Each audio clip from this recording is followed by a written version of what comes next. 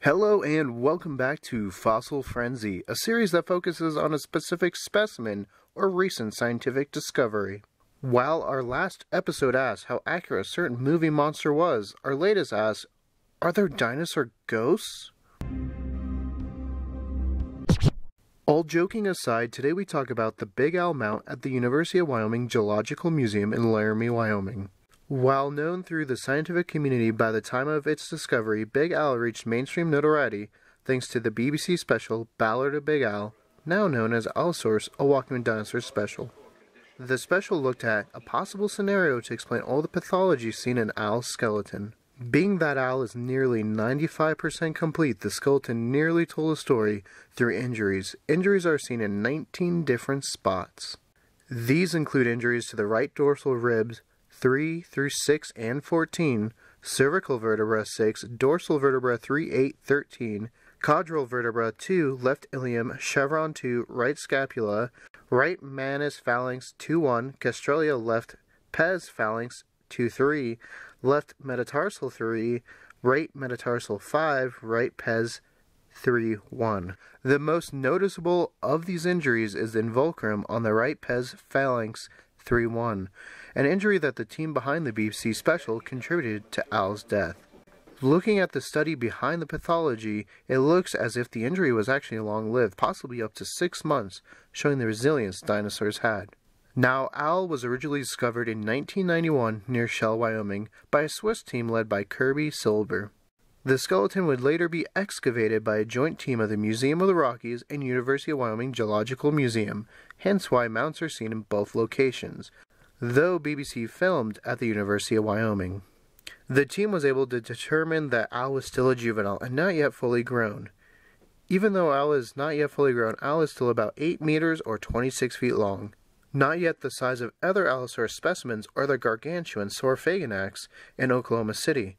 Al is still far larger than any land carnivore today.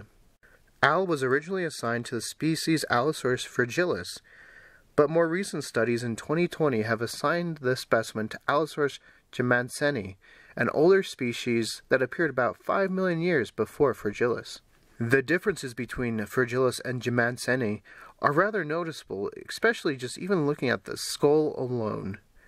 These differences include the jugal being less slanted and orbital fenestra, as well as thin bilateral blade like crests on the nasals that run from the nostrils to the orbital. These, among other autapomorphies, help distinguish the two, so thanks to both Big Al as well as the battle at Big Rock, at which the Allosaurus is designed after Jim Jamanseni, this new species is already skyrocketed into pop culture. So, what might have Allosaurus looked like in the flesh?